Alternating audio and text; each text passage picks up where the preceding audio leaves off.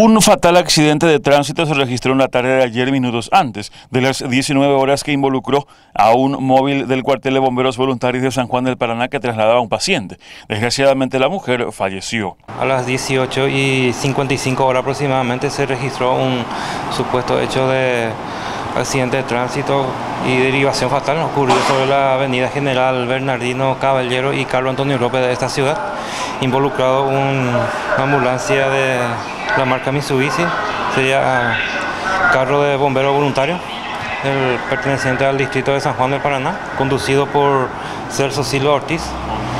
Por otra parte, involucrado un, automóvil de la marca Toyota modelo Axio, conducida por Dayana Luján Benial Urrío, paraguaya mayor de edad.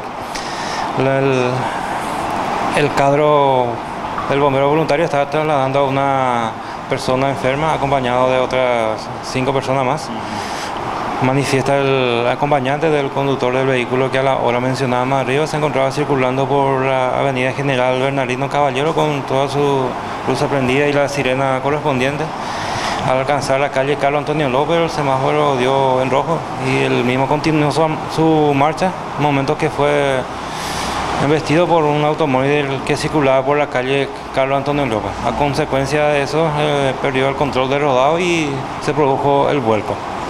Ya, ahora, eh, suboficial, hay muchas cuestiones alrededor de esta situación, eh, porque aparentemente los del carro pasaron en rojo, la mujer supuestamente no escuchó la sirena, es una cuestión a investigar todavía.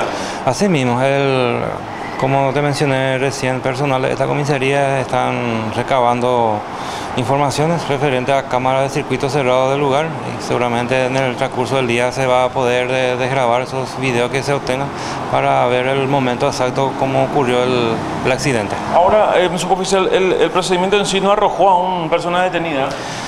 El fiscal de turno, el agente fiscal abogado Francisco Martínez, dispuso que ambos conductores se retiren a su domicilio, eh, pero los vehículos involucrados se encuentran en esta comisaría depositada. Asimismo, se realizó la prueba de alcoteja a ambos conductores, quienes arrojaron un resultado negativo. Ambos vehículos involucrados quedaron en sede de la comisaría primera. Mientras tanto, la investigación queda a cargo del fiscal Francisco Martínez.